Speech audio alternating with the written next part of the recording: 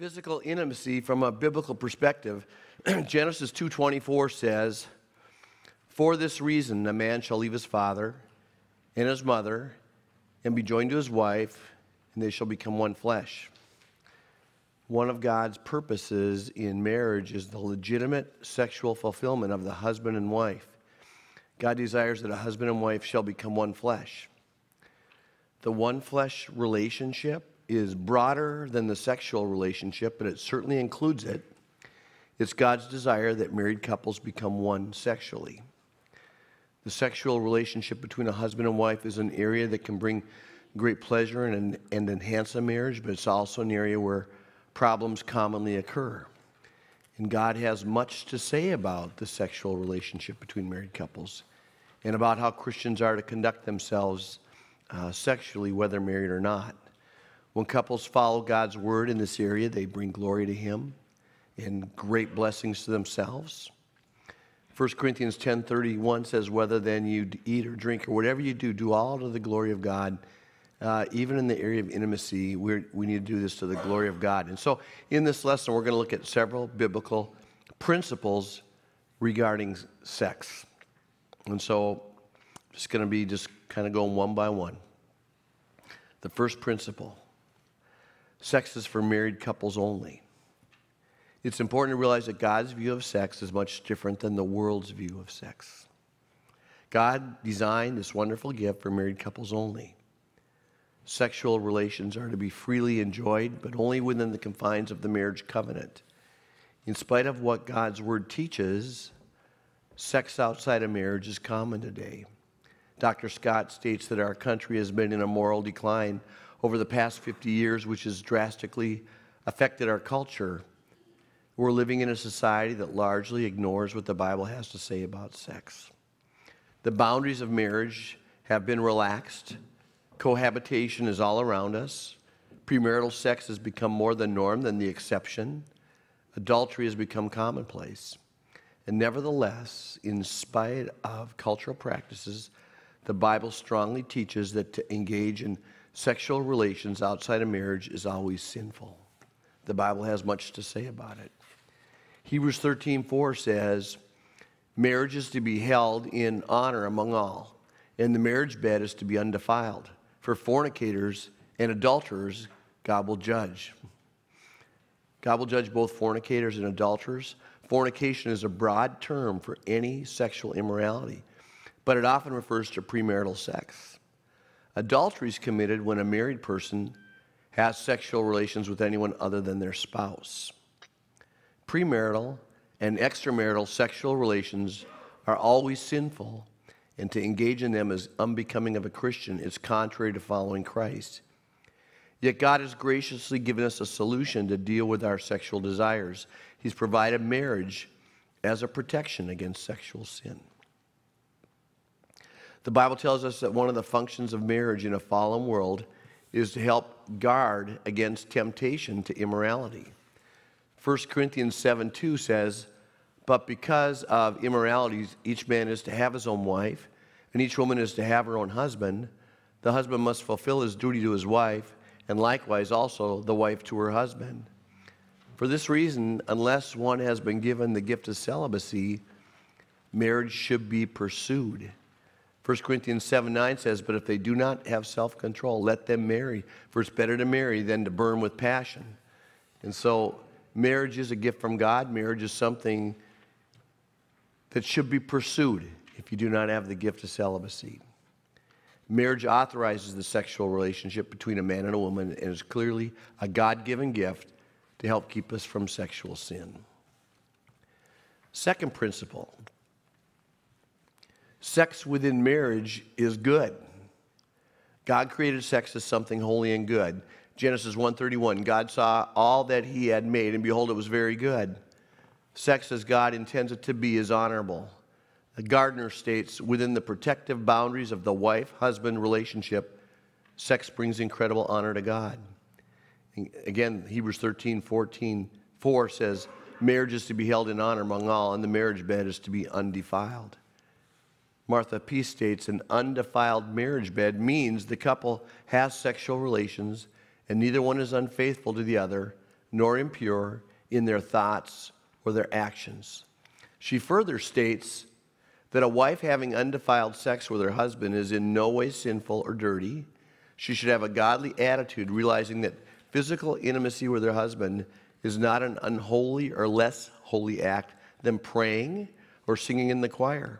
As long as her thoughts and motives and actions are pure, she's pleasing to God, and God views what she is doing as good. When sexual intimacy is as God intended, it is good and is pleasing to God. A third principle pleasure is assumed and is not sinful. There have been times in history when sex was seen as something to put up with and a necessary evil for procreation. And those attitudes are not biblical. God gave sex as a gift to married couples and intended it to be pleasurable. In Proverbs 5 18 and 19, it says, Let your fountain be blessed, and rejoice in the wife of your youth. As a loving hind and a graceful doe, let her breast satisfy you at all times. Be exhilarated always with her love. Song of Solomon 7:10. It says, I am my beloved's, and his desire is for me. Come, my beloved, let us go out into the country. Let us spend the night in the villages. Let us rise early and go to the vineyards. Let us see whether the vine has budded and its blossoms have opened, and whether the pomegranates have bloomed. There I will give you my love. So, having pleasure in physical intimacy is assumed by Scripture. Married couples should enjoy it freely. The fourth principle sex is an expression of complete oneness. Genesis 2:24 it says for this reason a man shall leave his father and his mother and be joined to his wife, and they shall become one flesh. There is no place where the complete oneness of a husband and wife is more clearly and beautifully communicated and experienced than in their sexual relationship. Their very bodies are designed to become one flesh. Sexual intercourse is more than a physical act, it's a symbol of a spiritual relationship and the expression of the complete oneness of two persons in married love. It is the means by which they are confirmed and nourished in that union. The true dignity of sex is in its ability to enhance this personal unity between two persons who have committed themselves to each other in love and marriage. In sexual intercourse, the couple becomes joined in an indissoluble unity called in the Bible one flesh. God has designed the sex act to truly bring a husband and wife into complete oneness. Now let's let's look at some biblical directives regarding sex. These are directions. The Bible has many directions regarding the proper use of sex within the confines of marriage. And so, number 1, sex is to be other focused. As in every other area of marriage, in the sexual relationship, the focus is not to be self centered, but other centered. Love is always giving, it's always concerned about the needs and the desires of the other person first and foremost. Biblical love is selfless rather than selfish, and this certainly applies to the sexual relationship. When you're loving in a biblical manner, you're always more concerned about pleasing your partner than having your partner please you. Your aim should be to serve and please your spouse rather than being served. When a husband or wife becomes more focused on giving than receiving, they are truly blessed. The Bible says in Acts 20 35, remember the words of the Lord Jesus that he himself said, It's more blessed to give than to receive. Problems do occur when sex is self focused. Problems often occur between couples when one or both partners are self focused in their sexual relations. Generally speaking, husbands tend to get stimulated faster and they want sex more fre- frequently than their wives. It's not always the case, but often is the case. They often become self focused. They get concerned about getting their desires satisfied. When a husband is self focused, he will often not consider the desires of his wife. He's too busy thinking of what he wants instead. Rather than giving, he's more interested in receiving. Rather than meeting her desires, he's concerned that his desires are, are met. He wants what he wants, and he will often run, run right over his wife to get it. Some husbands even get demanding instead of being loving. When a husband's desires and pleasures are his main concern, and he fails to take care of his wife's desires, in time his wife will begin to feel like an object to be used rather than a person who is loved. And this type of self focus damages marriages. In time, a wife who feels used will become bitter, and the whole marriage will begin to suffer. Husbands, it's vital to love your wife in a giving way. It's extremely important to be other focused. Your goal, and I, and I can tell you from counseling for many years with couples, how this is so important because I've seen this so many times. Your goal in sex should be to please her and give her pleasure and not to think of yourself first. A selfish and inconsiderate attitude in the sexual relationship is sinful, it's harmful. Philippians 2 3 says, Do nothing from selfishness or empty conceit, but with humility of mind, regard one another as more important than yourselves. Do not merely look out for your own personal interests, but also for the interests of others. Husbands, if you've been self focused, you need to confess the sin to God and your wife, and you need to repent. You need to put off your self focused attitude and behaviors and start putting on loving your wife first. You must study her and learn how to love and please your wife sexually. And this requires loving, open communication with her. 1 Peter 3 7 says, You husbands, in the same way, live with your wives in an understanding way, as with someone weaker, since she's a woman, and show her honor as a fellow heir of the grace of life, so that your prayers will not be hindered. Husbands, you should be more concerned about pleasing and fulfilling your wife than you are concerned about pleasing and fulfilling yourself. Pleasing and satisfying her should be your main goal. 1 Corinthians 7 3, the husband must fulfill his duty to his wife. But husbands are not the only ones who can become self focused. Wives can be self focused as well. Typically, though not always, this can be turned around. But typically, the wife will have a different way of expressing self focus. Often, the way a wife will express self focus is in not wanting to engage in sexual relations with her husband. A young mother may not have any energy left after a difficult day of, of housework and taking care of young children. She may just want some sleep. A woman who works out of the home might be stressed out from her job and just want to get some sleep or, or just relax and sit down and read a book. Just as a husband hurts his wife when he is self focused, so a wife hurts her husband when she is self focused. If she avoids sex because she's not in the mood or tired, over time the husband will feel rejected and unloved. And so, wives, you have as much duty to fulfill your husband as he has to fulfill you. Just as he needs to be considerate of you, you need to be considerate of him. A wife who habitually fails to meet her husband's desires is being self focused She's failing in her God given duties, and it also is sin. 1 Corinthians 7 3 says, The husband must fulfill his duty to his wife, and likewise also the wife to her husband. So, husbands and wives must not be self focused, rather, they must be other focused. They should both have the attitude of serving each other and giving each other pleasure and just really showing love to each other. Let me give you a second directive from the Bible. Sex is to be regular and continuous. There's no set number of times per week recommended in the Bible for a couple to engage in intimacy, but there is a principle. It should be often enough that neither spouse is experiencing frustration or temptation. In Proverbs 5:19, it says, as a, as a loving hind and a graceful doe, let her breast satisfy you at all times be exhilarated always with her love. The word satisfy in this verse comes from the Hebrew word rava. It means to be satiated or to have one's fill. The Bible could, could actually say, let her breasts satiate you at all times. Husbands and wives should be so satisfied and satiated with each other's, uh, each other's love that no one else would even be a temptation. Sexual relations should be often enough that they each have their fill and there is no frustration.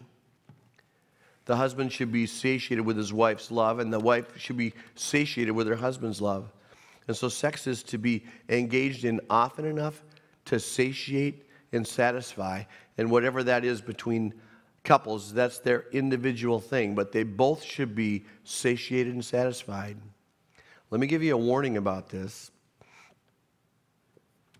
Couples can get into a habit of not having sex or not having sex very often. They can get busy or lazy or just too tired. And when that happens, they're living together more like a brother and a sister than a husband and a wife. And this is a dangerous routine to get into. When couples rarely engage in sexual relations, frustrations can mount and temptations can become strong. The Bible warns against this very strongly.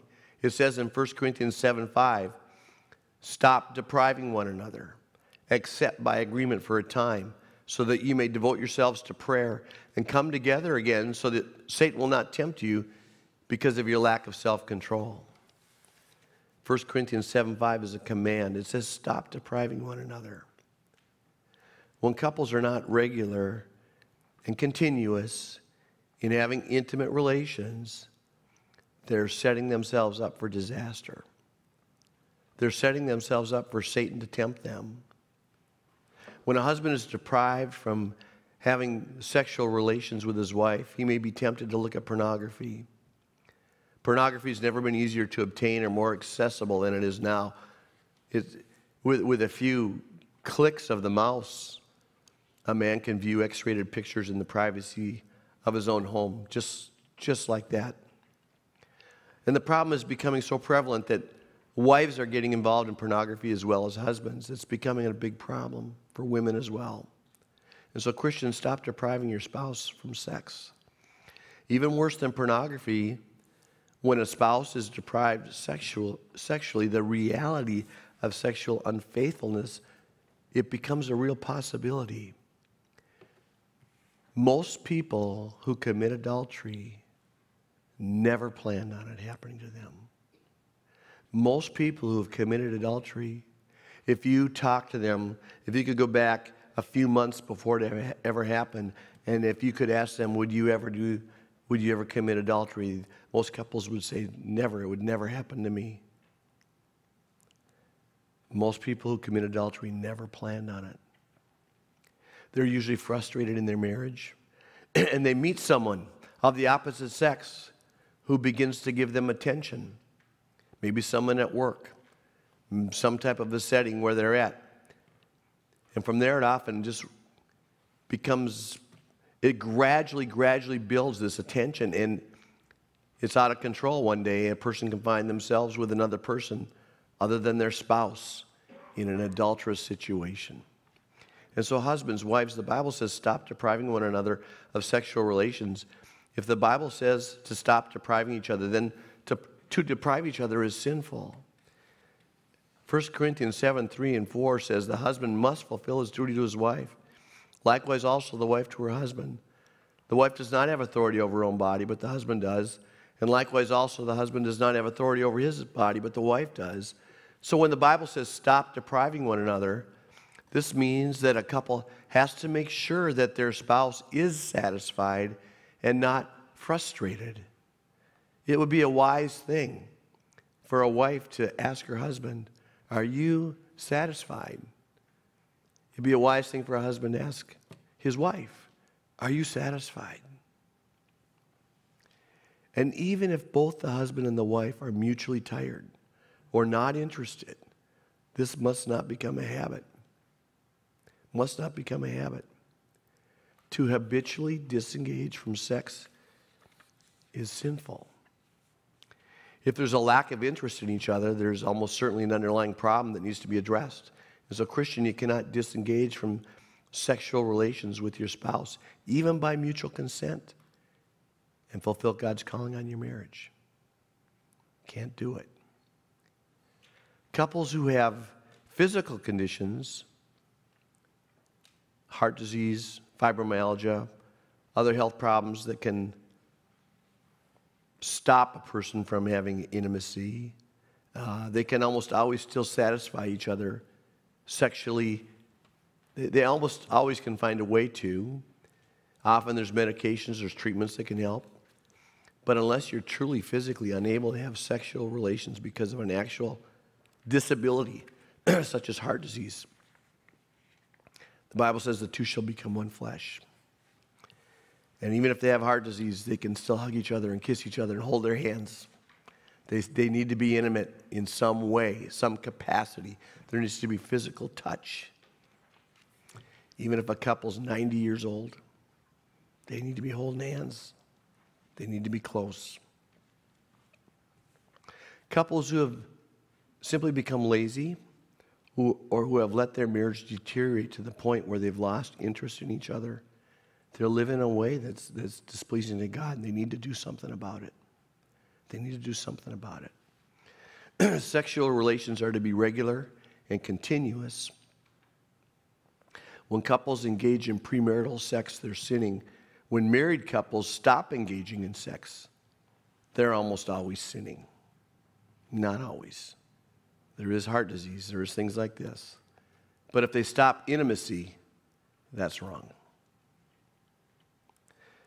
And so the Bible says to stop depriving one another and to be satiated at all times. And so, Christian, we must not act like God's commands are optional. They're not. Sex is a command. You ever thought of it that way? It's a command. In marriage, it's a command. Stop depriving one another. Let's go to a third direction.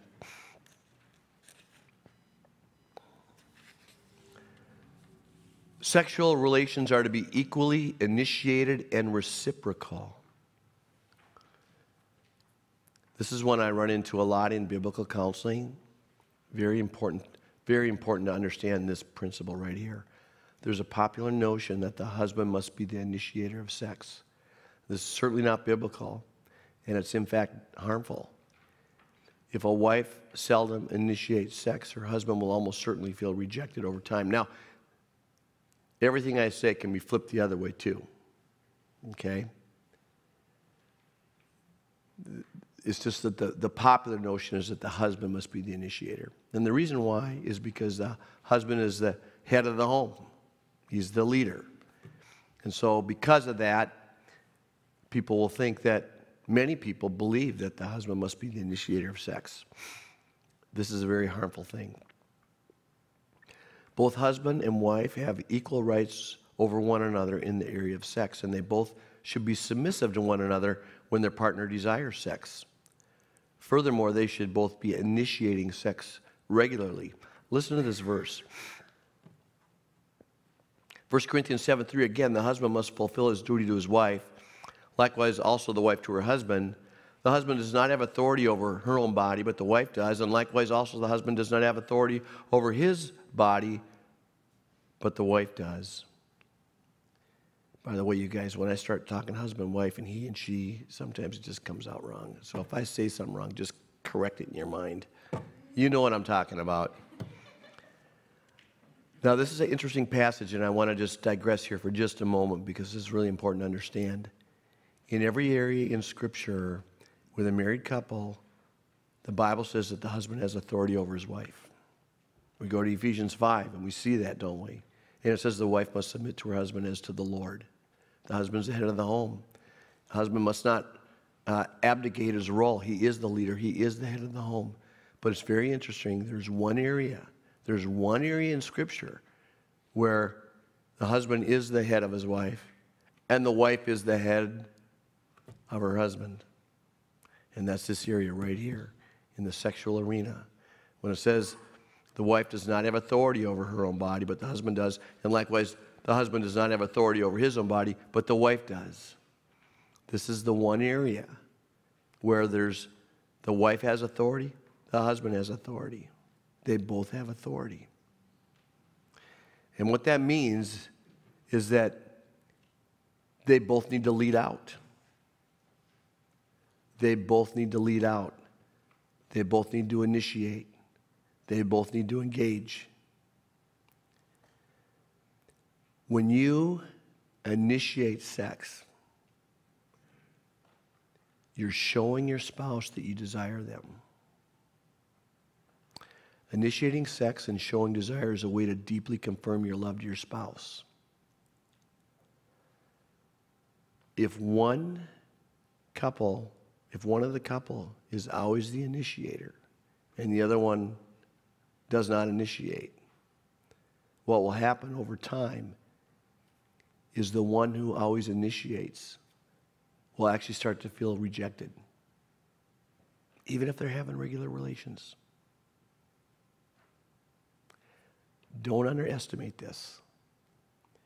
God has written this that the husband must fulfill his wife, the wife must fulfill the husband. Husband doesn't have authority over his body, wife doesn't have authority. That's all there under the inspiration of the Holy Spirit. Both are to initiate, both are to show love, both are to be actively involved, not just one. Not just one. Very important. Part of the joy and the pleasure of sex is just knowing your partner desires you. So initiate. Make sure your partner knows that you desire them. Engage yourself and let your spouse know that you that you mean it. You want to be with them. You desire them. To merely submit to sexual relations without showing passion or interest is nearly equivalent to rejection. You, you get what I'm saying? If one person always initiates and one person submits to it, but they're not showing interest, they're not showing interest, it wouldn't be happening if the one wasn't initiating. If one person uh, just merely submits, but they don't show passion, they don't show interest, they just go along, over time, that becomes nearly equivalent to rejection. And so, husbands, make sure your wife really knows you love and desire her. And wives, make sure your husband really knows that you love and desire him. Both, both of you participate. Both be passionate. Both engage. Both initiate. Be engaged. Song of Solomon says, 710 says, I am my beloved's, and his desires for me. It's amazing. I'm just going to say a little bit more about this, and then I'm going to move on to some questions. This last part that I just talked about, how both people must engage and both, both people must be reciprocal, I, I just can't even tell you from how many times I've seen this in the counseling room how harmful it is on a marriage when it's one sided. It, it's, it's amazingly harmful. And so I, I just want to put it out there. Um, if your marriage is like that and you haven't been the initiator, whether you're the husband or the wife, if you haven't been the initiator, I want to encourage you to start initiating right away. Show your love, show your passion, show your desire. Be that initiator. Don't neglect this important point. It really matters. All right. I could definitely hear a pin drop even on the carpet, I think. You think it's uncomfortable there, you should be up here. All right, so let me let me raise some questions, okay? I'm going to raise some questions. First question, what if I have no libido? What if I'm just not interested in sex? Well, go to your medical doctor and get an examination to make sure there's nothing physically wrong with you. If there's nothing wrong, often the lack of desire comes from problems that have accumulated in your relationship over time. These problems must be fixed. Christians do not have the option of having a mediocre marriage if they would be pleasing to God. I'm going to repeat that. Christians do not have the option of having a mediocre marriage if they would be pleasing to God. If there are problems in your marriage, if there's problems between you and your spouse, get biblical help if you cannot resolve it yourself get help. If you develop a serving attitude, your desire will often change. I'm, I'm, still on the topic of what if I have no interest? If you develop a serving attitude, your desire will often change. If, if you do not have a strong interest in sex, you must remember that your goal is to please God by pleasing and loving your spouse. You can engage in good sexual relations with your spouse even with a low libido, if your aim is to serve and satisfy him or her. In time, if your focus is other centered, you'll begin to be blessed by giving pleasure to your spouse in spite of your own lack of sexual interest. And this alone will increase your desire to engage in sexual relations with him or her. In other words, what often happens is we, we, we have in our mind, we can break our mind up into different parts. And, and one part is our desires, one part is our will, uh, our affections, and so on. There's these different parts that we just kind of divided up in. Our feelings, our emotions. If our feelings and emotions say, I'm not interested in sex, and we let that run us, then often people won't engage in relations with they won't have intimacy. They let their feelings run them. But if they say you know i'm not going to let my feelings run me. I'm going to do what god wants me to do and god says he wants us to be one flesh then a person can let their will run them i i, I this is kind of this might sound kind of weird but the will is a little hard thing to understand so i, I, I like to term it something else. This might just sound weird, but I, so when I'm counseling, sometimes I call the will our, our wanter. That thing in us that wants. I call it the wanter, okay? So that's strange, I know. But let's say the feelings are like, the feelings are back in there and they say, I don't want to, I don't want to do this. I, I don't feel like being engaged in intimacy with my spouse. But the, the wanter part, that other part of your brain says, I want to. I don't desire it. My feelings are all against it, but I really want to do it because I want to please my spouse and I want to do what's right in God's eyes. So now you have this conflict in your brain. The feelings are saying no, but the wanter is saying, yes, I need to do this. Well, then you listen to the wanter. I really want to do this, even though I don't feel like doing this. And you start doing what's right. And guess what happens? the wanter leads out, and the feelings are like a bunch of little kids that follow it. The feelings come along. It's really true. And so there's a lot of guys tend to, to really rev up fast. You hear like a microwave oven.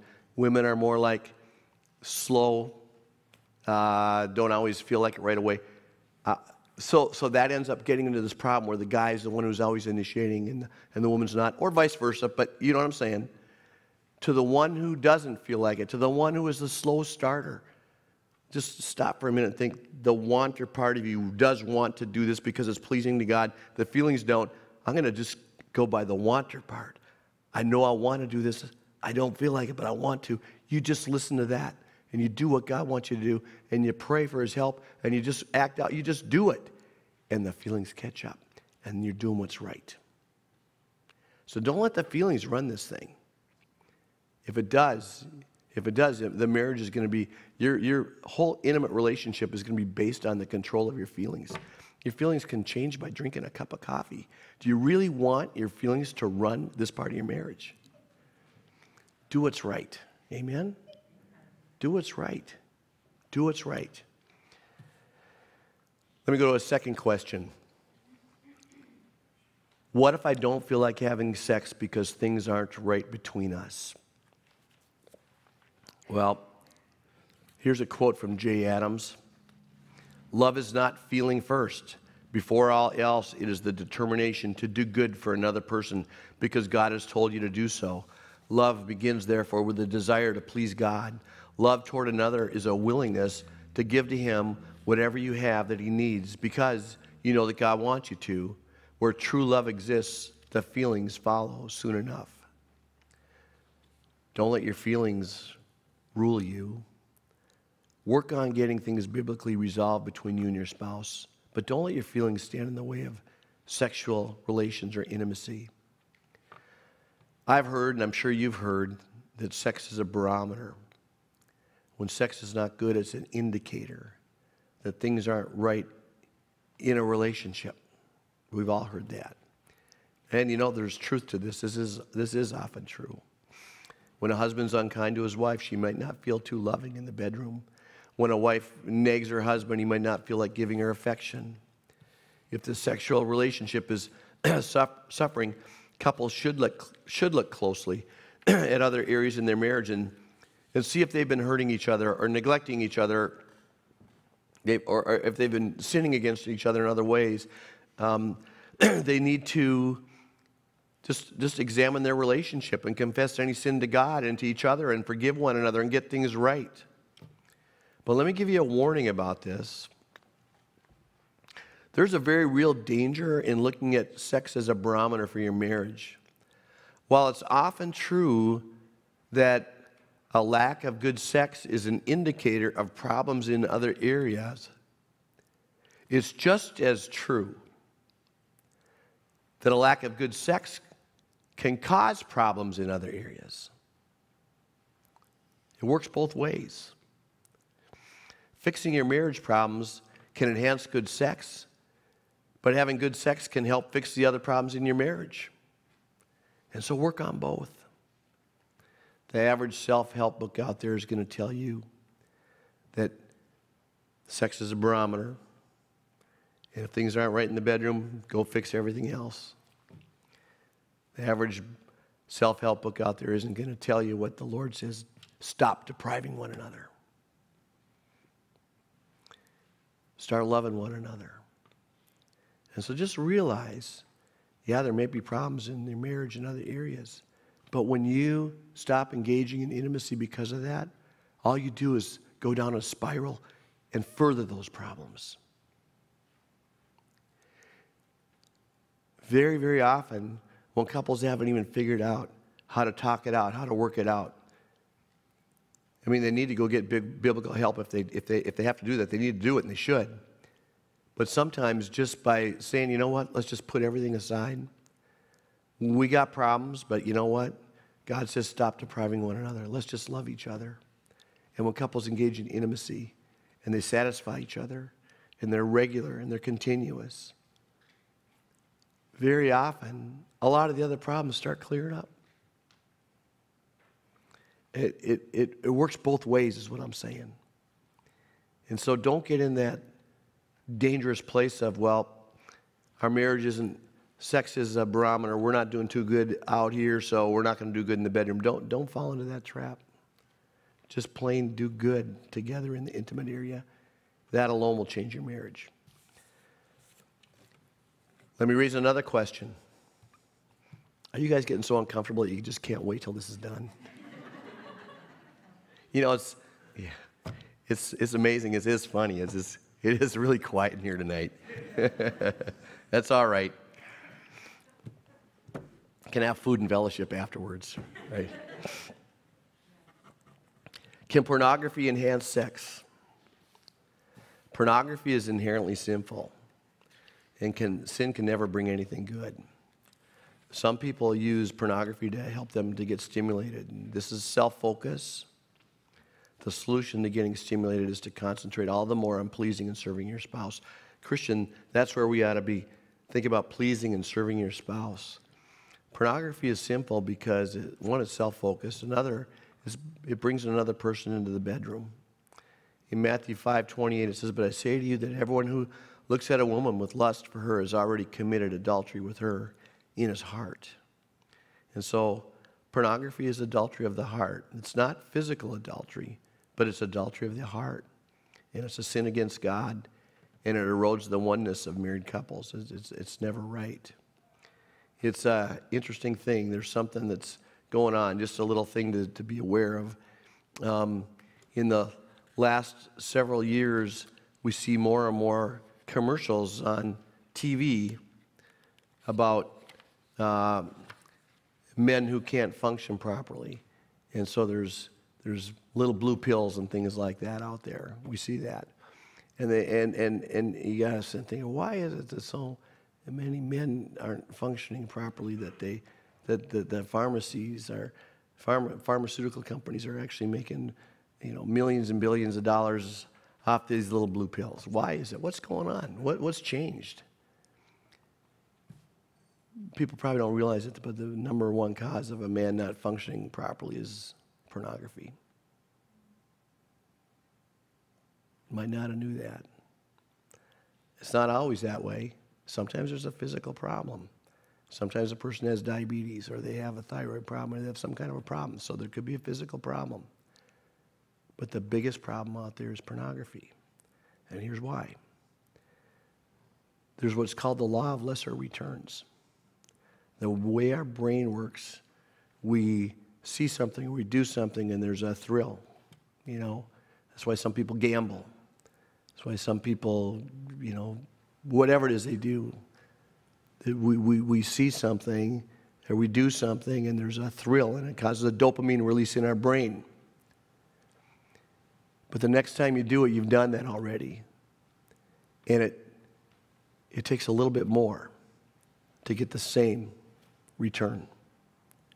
And over time, when someone's looking at pornography, when a man or a woman's looking at pornography, mostly men still, what will happen is the things that initially aroused him and got him excited, and even though he knew it was wrong, it was simple, but he did it anyway, all of a sudden, uh, what he's looking at is, well, he's gotten used to it. It doesn't do that to him anymore. So he looks at more and more things and, and different things to be able to get the same return. And what happens pretty soon, he's, who knows what he's looking at, but whatever he's looking at, when he goes into the bedroom with his wife, because of the law of lesser return, just being with his wife and seeing his wife isn't capable of arousing him anymore. And so he physically doesn't work very well. And so it's really the truth. Pornography is one of the biggest causes of men not being able to function. And so, I mean, it, it's very harmful to even in that way. But that brings us right back to the focus. The focus, that's all self focus, and it actually does damage. The focus, men and women, ought to be on your spouse, not yourself. That's God's way. The focus needs to be on the other person. Let me ask another question What is permissible in sex? What is permissible? Well, anything is permissible if it is mutually agreeable, pleasurable, not offensive to your partner, not harmful, and not sinful. If something violates your conscience, you shouldn't do it until you're sure it's not sinful. Romans 14 23 says, Whatever is not from faith is sin. Is if, if something is harmful to your partner or yourself, you should never do it. If something is sinful, you must completely avoid it. And so, God gives a lot of latitude, and yet, if it's not mutually agreeable, you shouldn't do it. If it's not pleasurable, you shouldn't do it. If it's not offensive, I mean, if, if, if, it's, if it's not agreeable, if it's not pleasurable, you shouldn't do it. If it's offensive, you shouldn't do it. It shouldn't be harmful. It can't be sinful. And so just sort of just ask yourself, does it fit into those categories? Let me go to another question. What if I'm not sure how to give my partner pleasure? Well, then you must learn to openly and honestly communicate with each other. Sex can be a topic that's hard to talk about it, and yet, I mean, even even with your own wife, even with your own husband, it can be, you can be very self conscious about talking about it, and yet you should learn to be very open with each other. After all, you are a husband and a wife, and you're one flesh, and you should not be ashamed. Uh, if you don't know how to give your spouse pleasure, ask. Just ask. They'll be able to tell you. Genesis 2:25 says, "And the man and his wife were both naked and were not ashamed." Well, let me bring this to a conclusion Christian, it's vitally important that you fulfill the mandate of your calling in the area of sexual relations with your spouse. God has said, stop depriving one another. Those are words from, from God. He said, be satisfied at all times. If there's an area that Satan will use to destroy a marriage, is through sex. In 1 Corinthians 7 5, it says, Stop depriving one another, one another except by agreement for a time so that you may devote yourselves to prayer and come together again so that Satan will not tempt you because of your lack of self control. You know, if you study the New Testament and you study all the places where it says Satan can tempt you, where Satan can do something to you, you're going to be surprised. It's not going to be as many places as you think. Okay? I mean, Satan, he can do things, but perhaps not as much as we think. We give him a little bit too much glory. And at the same time, this is something to be aware of because this is one of the few places where it does say, stop depriving one another so that Satan will not tempt you because of your lack of self control. This is an area where the devil can get into your marriage. This is an area where he can cause problems. If there's problems in your sexual relationship, don't let it go on. Don't let it go on. Look at your marriage and face whatever problems that you have head on. Christians must not settle for a mediocre marriage.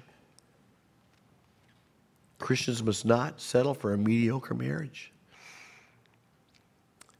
They're to be a picture of Jesus Christ in the church.